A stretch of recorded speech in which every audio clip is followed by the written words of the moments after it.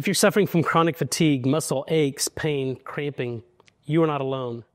The incidence of myalgia is on the rise, and I'm going to break down the reason behind this. Hello, my name is Dr. Nathan Bryan, nitric oxide biochemist and physiology. Myalgia, or the word as the name implies, is muscle pain. And the reports of myalgia have increased, especially since the introduction of cholesterol lowering medications what we call statins. And it's known now that statins are mitochondrial toxicants, so they affect, they inhibit the body's ability to make cellular energy.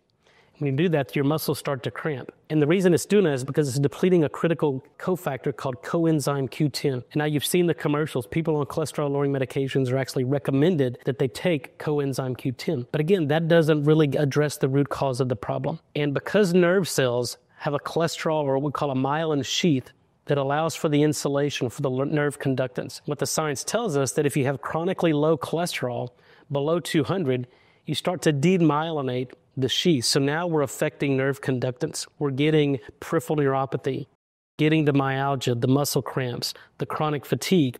And it's due to two, two reasons mitochondrial toxic, toxicity due to the statin drugs themselves, and the demyelination, demyelination of the neurons. And so these drugs are very dangerous in terms of long term outcomes. And what we're finding is that heart disease is not caused by cholesterol.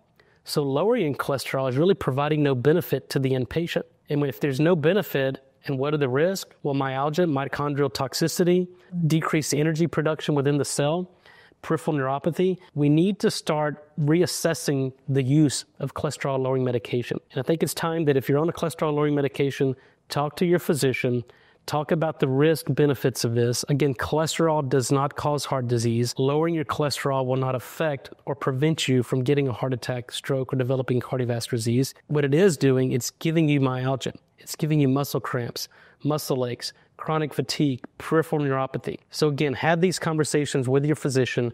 The, the incidence of myalgia, muscle, muscle aches, muscle cramps, fibromyalgia are on the rise. And it could be that the medications you're taking are the reason. So you may ask your question, why are physicians still prescribing cholesterol lowering medication when there's no benefit for primary, secondary, or tertiary prevention? Their rationale is to lower LDL cholesterol, also to lower total cholesterol, but specifically LDL cholesterol, because it's thought to be an inflammatory molecule.